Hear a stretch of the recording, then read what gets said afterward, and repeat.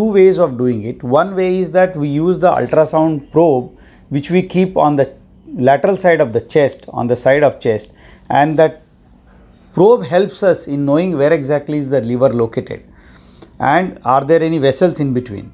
If there are no vessels in between, then we have a liver biopsy needle which we put inside by giving a local anesthesia over the chest and then we insert around uh, adequately around 5 to 8 centimeter inside and then we shoot it by a liver biopsy needle because of which we get a good tissue of around 1 centimeter and then we subject that tissue